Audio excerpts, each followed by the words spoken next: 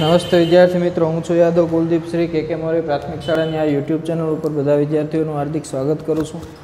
આજે આપણે chapter number અગિયાર, બળ અને દબાણને આગળ વધારશું. તો હવે આપણે જોશું પ્રવાહી અને વાયુનું દબાણ. કે ભાઈ, આપણે એક વસ્તુ સમજીએ કે દબાણ ક્યાં લાગે તો કે એકમ ક્ષેત્રફળ એકમ ક્ષેત્રફળ ક્ષેત્રફળ દીઠ લાગતા બળને દબાણ કહે છે.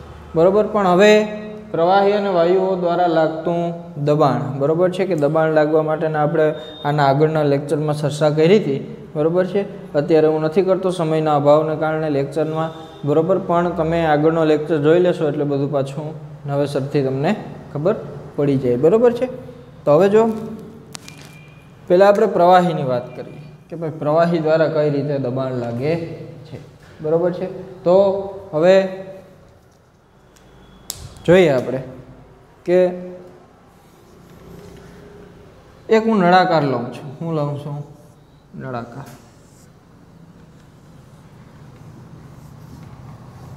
હું પ્રવાહી અને વાયુઓ પણ દબાણ લાગે છે, લગાડે છે કે નહીં આપણે સાબિત કરવાનું છે.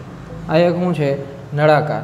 કેટલા? તો કે પંદર સેન્ટીમીટરનો. કેટલો છે? પંદર સેન્ટીમીટરનો નળાકાર છે. લંબાઈ છે એની શું છે લંબાઈ. એનો વ્યાસ તમે પાંચથી, કાં તો તમે વ્યાસ એટલે કે આ વર્તુળ છે, ઉપર વર્તુળ બને આ એનો શું કહેવાય? વ્યાસ કહેવાય. અને આ એની શું કહેવાય? ત્રિજ્યા કહેવાય ત્રિજ્યા કહેવાય. બરાબર? તો અહીંથી અહીં સુધીની ત્રિજ્યા કહેવાય, આ એનો વ્યાસ કહેવાય. વ્યાસની અડધી શું હોય? ત્રિજ્યા. બરાબર? આગળ આપણે ગણિતમાં ભણવાનું છે. કાં તો તમે એનો વ્યાસ પાંચ લ્યો. કાં તો તમે એનો વ્યાસ બીજો શું લખો? લઈ શકો કે ભાઈ પાંચથી સાત સુધીનો, સાત પોઈન્ટ પાંચ સુધીનો વ્યાસનો નળાકાર લેવાનો. અહીંયા એક ફુગો ચોંટાડી દેવાનો. હું ચોંટાડી દેવાનો? ફુગો લગાડી દેવાનો. નળાકારની નીચે ફુગો બાંધી દેવાનો. બરાબર છે?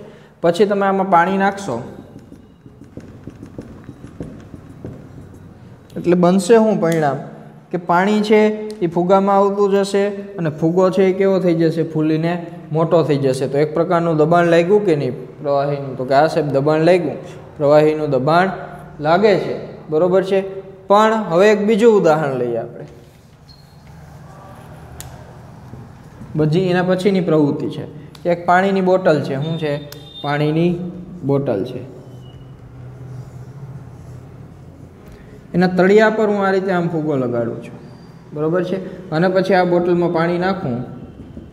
એટલે આ ફૂગો ફૂલીને આવો થશે. તો ઘાસેપ થઈ જશે. એનો મતલબ પણ શું છે કે પ્રવાહી દબાણ લગાડે છે. બીજું ઉદાહરણ હું લઉં કે એક બોટલ છે.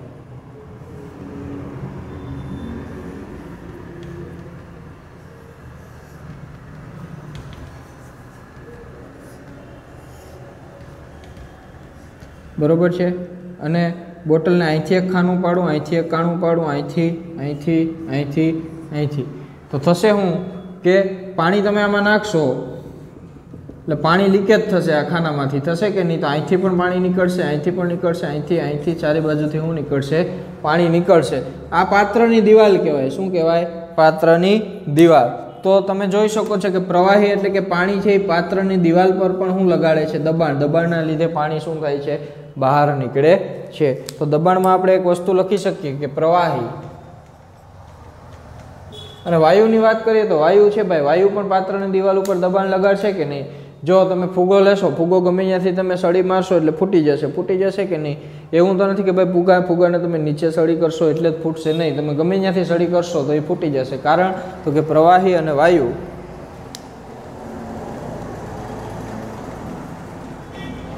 પાત્રની દિવાલ પર દબાણ લગાડે છે. બરોબર છે? એક વસ્તુ આ સમજવાની થઈ. હવે એના પછીનો મુદ્દો અને લાસ્ટ ટોપિક છે આપણા જે ચેપ્ટરનો વાતાવરણનું દબાણ. હવે આપણે ખબર છે કે ભાઈ આપણે આજુબાજુના આવરણને વાતાવરણ કહીએ છીએ. આપણે આજુબાજુની જે હવા છે એને આપણે શું કહીએ છીએ? વાતાવરણ કહીએ.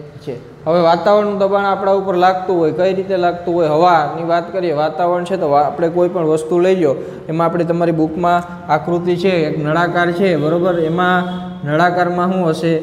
હવા હશે? ખુલ્લો નળાકાર હશે તો એમાં શું હશે?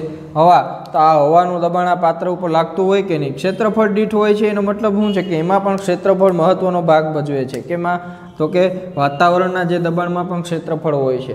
કારણ કારણ કે જો આપણા મનુષ્ય ઉપર પણ હવાનું શું લાગતું હોય? દબાણ. દાખલા તરીકે મનુષ્યનું માથાનું ક્ષેત્રફળ પંદર સેન્ટીમીટર ગુણ્યા પંદર સેન્ટીમીટર, એટલે કે પંદર સેન્ટીમીટર લંબાઈ અને પહોળાઈ.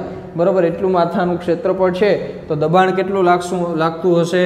તો કે બસો પંચાવન કિલોગ્રામ જેટલું એમાં લબાણ લાગતું હશે. એટલો વજન આપણી માથે છે અત્યારે કેટલો? તો કે બસો પંચાવન જેટલો વજન હોય કિલો. તો તમે સમજી શકો છો કે બે કિલો વજન ઉપાડવામાં આપણે તકલીફ થાય તો એટલો વજન કેમ આપણે ઉપાડશું? બળ કેટલું લાગતું હશે તો કે બસો વીસ ન્યૂટન જેટલું એવું કંઈક છે બુકમાં આપેલ છે આપણી, બરોબર છે? એટલું શું લાગતું હશે? બળ લાગતું હશે. તો આપણે વજન કેમ નથી લાગતું? તો કે આપણું પણ કંઈક વાતાવરણ પ્રત્યે શું હોય? દબાણ હોય, બરાબર? બે દબાણ ભેગા થાય અને એનો જે તફાવત નીકળી જાય, એટલા માટે શું કહેવાય કે આપણું દબાણ અને વાતાવરણ ઉપર, વાતાવરણનું દબાણ આપણી ઉપર લાગે છે, પણ આપણું દબાણ પાછું સામે કોને લાગે છે? વાતાવરણને લાગે છે. બરાબર છે? તો અહીં આપણું આ ચેપ્ટર શું થાય છે? પૂરું થાય. બરોબર છે? એટલે હવે આપણે આગળના લેક્ચરમાં નવા ચેપ્ટર સાથે મળશું. બરાબર છે? સ્વાધ્યાય આખું લખી અને એકવાર તૈયાર કરી નાખો.